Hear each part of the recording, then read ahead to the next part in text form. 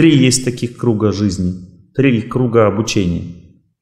Первый круг обучения. Человек сначала должен научиться своей судьбе, когда он еще маленький. Он смотрит на своих родителей, на их отношения и понимает, какая у него судьба. Бог ему говорит, смотри, как не надо. Или смотри, как надо. Ну, показывает его судьбу. Бывает хорошая судьба, бывает тяжелая, тоже хорошая. Вот. Смотри, как не надо, и учись по-другому жить. Ребенку показывает Бог. Он смотрит, смотрит, думает, а что это мне это все, зачем это мне? Начинает обвинять родителей, вы мне родовую травму сделали, я такая мягкая, пушистая, вы меня сделали скользкой, вонючей. Нет, тебя судьба такое не делает. Она тебе показывает твою собственную жизнь прошлую через родителей. И показывает тебя. Ничего случайного нет, несправедливости нет в этом мире. Не надо родителей ни в чем обвинять. И показывают нам, нас, нашу жизнь прошлую. Наши отношения показывают. Вторая, второй круг жизни. Живи теперь сама. Вот тебе Твой мужик не мечта, а мужик твой. Это разные вещи. Объясню разницу в чем сейчас. Если мечтаешь о высоком красивом, можешь получить или красивого, но не высокого, или высокого, но не красивого. Это так и есть. И если, допустим, ты думаешь, я не хочу некрасивый, высокий, не хочу, хочу красивый теперь и невысокий. Хорошо. А, нет, не хочу э, некрасивый и высокий. Хорошо. Бросила, да? Раскайся сначала. А потом получишь красиво, но не высокого. А так, чтобы красивого и высокого, потому что рассказываем. Так не бывает. Ты же мечтаешь, да, сейчас все-таки, мне не повезло, да, сейчас это, и, и прям выйду, найду себе нормально, да? Ничего не получится. Допустим, как обычно бывает, мужчина строго себя ведет, женщина такая мучается с ним, думает, ой, хочу мягкого, нежного. Бросила. Пока не раскаешься, вообще никого не получишь. Мысль пошла, что-то не то сделала, начала раскаиваться. Хорошо, получила. Мягкого, нежного, но ленивого. Потому что строгий, он сильный, да? Ты же не думаешь о том, что он сильный? Тебя защищает. Мы то, что имеем, никогда не ценим. Хочу нежного. Нежный, но работать не хочет. Думаешь, нет, лучше опять назад, строгому. Или с мягким, нежным пожелать что-то, строгого хочу. Хорошо, получи строгого и распишись. Но уже не нежного. Потому что все вместе не бывает. Понимаете, это святые люди все вместе. А святые люди не женятся, они в монастырях живут.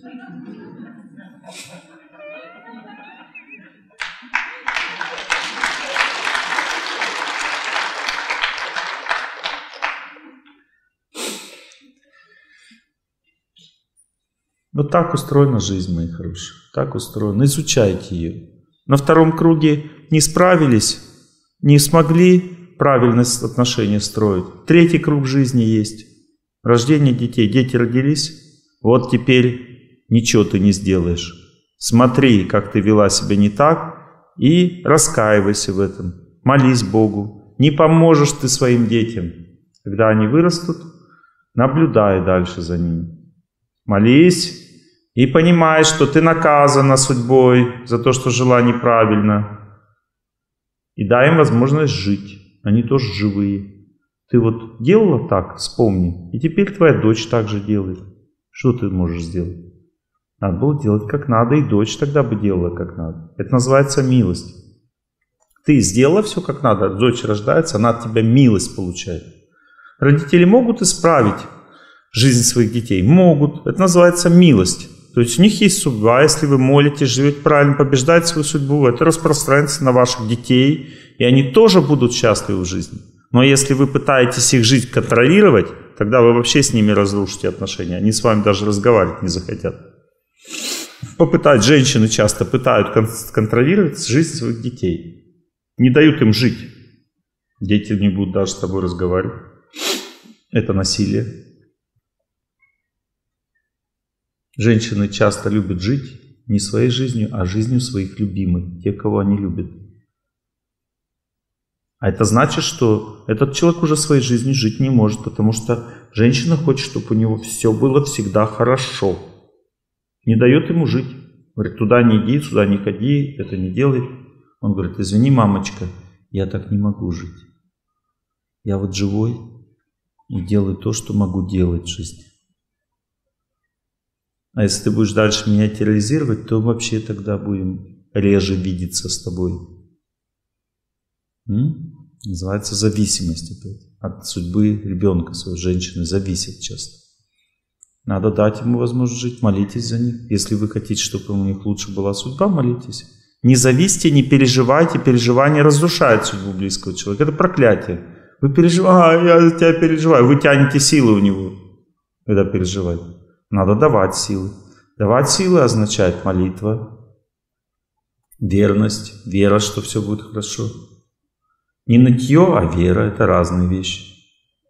Ноет человек, разрушает судьбу близких, верит, помогает. Женщина может верить? Может. Одна женщина а, провожает на войну сына с верой и постится, молится, и он побеждает. Вторая ноет, плачет, разрушает его жизнь, проклинает его таким поведением. Человек уходит из жизни, одни воют, ему там очень тяжело в это время а другие молятся за него, ему там становится очень легко в это время. Одни на поминках квасят, из этих злых духов привлекают, так сказать, к поминкам. Они ему туманят мозги, он вообще ничего не соображает, что там происходит. А другие молятся, постятся. Поминки проводят в трезвом состоянии. Таким образом они очищают жизнь человека приближают его к Богу. Видите, можно жить по-разному. Можно жить так, как все, а можно жить так, как надо. Это разные способы жить. Потому что все обычно не туда идут в своей жизни. Обычно. Потому что не туда идти легче, а все идут туда, куда легче. Вот как мы выбираем цель в жизни? А то, что нам нравится, то и цель. Ребенок родился, ребенок цель. Квартира нужна, квартира цель жизни, значит и так далее. Человек цели жизни выбирает, что ему надо. А надо выбирать правильно, надо учиться, потому что от высшей цели жизни зависит, от чего ты счастье будешь получать. Допустим, квартира приближается к тебе, ты счастлив, но она же не может и не приближаться, судьба же волнами идет. Как, как квартира перестала приближаться, все, тебя косит. Поэтому люди, которые выбрали неправильно цель жизни, только эта цель от них отдаляется – сразу их косит. Эти люди верят в удачу в жизни. И фильмы такие смотрят про удачу, что все будет хорошо, они думают, в жизни. Не факт. Иногда бывает хорошо, а иногда плохо.